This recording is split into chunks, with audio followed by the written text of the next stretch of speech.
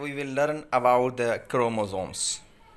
Chromosomes are the thread-like structure inside the nucleus. These thread-like structures inside the nucleus are known as chromosomes. Chroma means color and soma means body, but actually these are colorless. They don't have any color.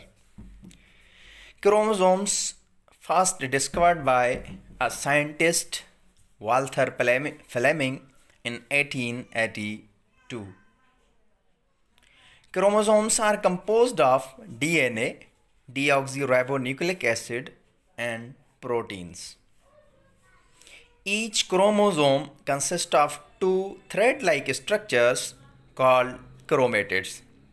Arms of the chromosomes are known as the chromatids and each chromosome consists of two chromatids. And these chromatids are attached to each other by a small body called centromere.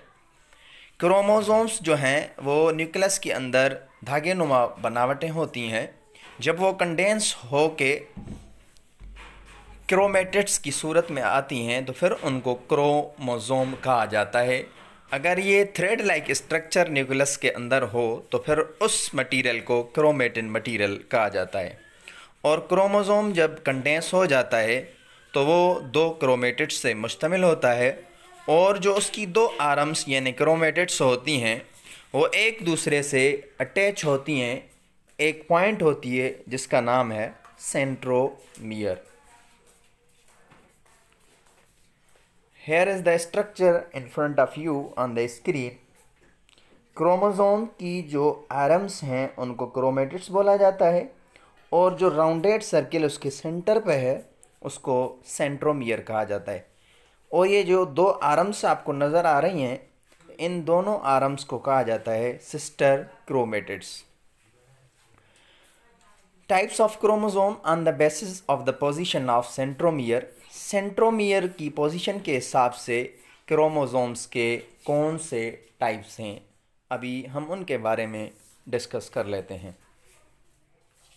सबसे पहले chromosome का type है centromere की position के बिना पे telocentric these are the rod shaped chromosomes having centromere at proximal end यानी जो उनकी पहली साइड होती है वहाँ पे उनकी सेंट्रोमियर होती है और सेंट्रोमियर के बाद उनकी आगे जो है क्रोमेटेड यानी आरम वो नहीं होती, उस पर वो ख़त्म हो जाता है।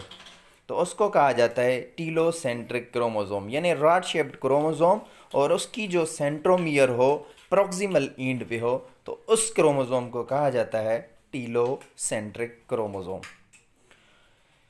and other type of chromosome is acrocentric chromosome These are also rod-shaped chromosomes, but the centromere is between two chromatids in such a manner having one arm is short and one arm is long. यानी ऐसे chromosome जिसकी centromere उसके centre पे हो मगर उसकी एक chromatid जो आर्म हो वो लॉन्ग हो और दूसरी जो क्रोमेटेड हो वो शार्ट हो तो ऐसे क्रोमोसोम को कहा जाता है acrocentric chromosome here is the picture of acrocentric chromosome on the screen you can see here acrocentric chromosome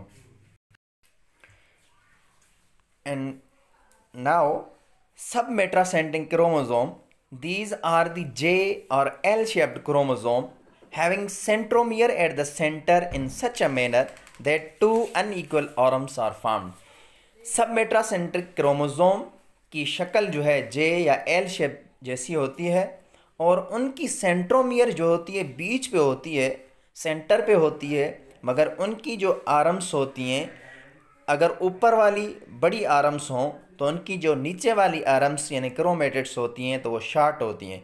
यानी अनईक्वल आरम्स, एक साइड से बड़ी आरम्स होती हैं तो दूसरी साइड से उसकी आरम्स छोटी होती हैं। तो उन क्रोमोज़ोम को कहा जाता है, submetacentric chromosome here is the picture in front of you on the screen third type of the chromosome in this picture that is submetracentric chromosome having one-sided arms are long and one-sided arms are too short. And the last one type of chromosome is metacentric chromosome. These are the V-shaped chromosome having centromere in the center, but two equal arms are formed.